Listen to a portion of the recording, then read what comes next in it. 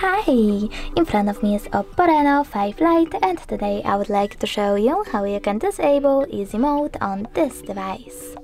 First of all, you need to access device settings. Now choose exit simple mode and tap on exit.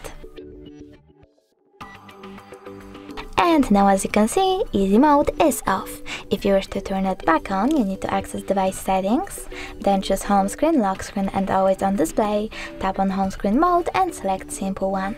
Then choose apply and tap on switch.